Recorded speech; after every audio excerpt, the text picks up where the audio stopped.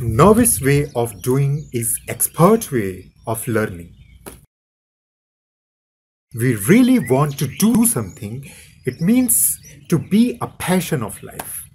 Maybe it's a creative task, sports, business, politics, motivational or inspirational speaking, or a study. But we hesitate doing it and never pursue it. Sometimes not even in a whole life. Why?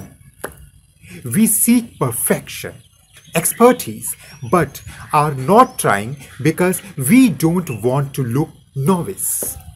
Someone likes to act in front of mirror. Other one dances in a lonely room. Another sings in their bathroom. Someone else paints on a paper and tear it off.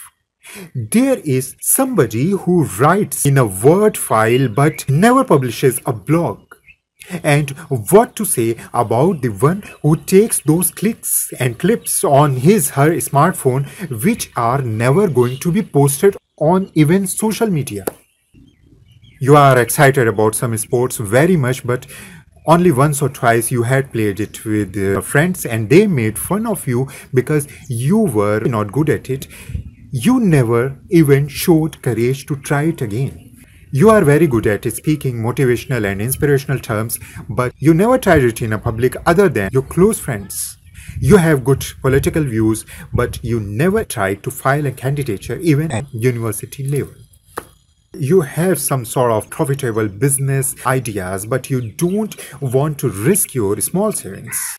You have a thought of researching on something, but uh, you are afraid that you would never complete it and end up wasting your time and energy after years. Just because you are novice and not expert on something, is it a justice with your dream or passion if it is never pursued?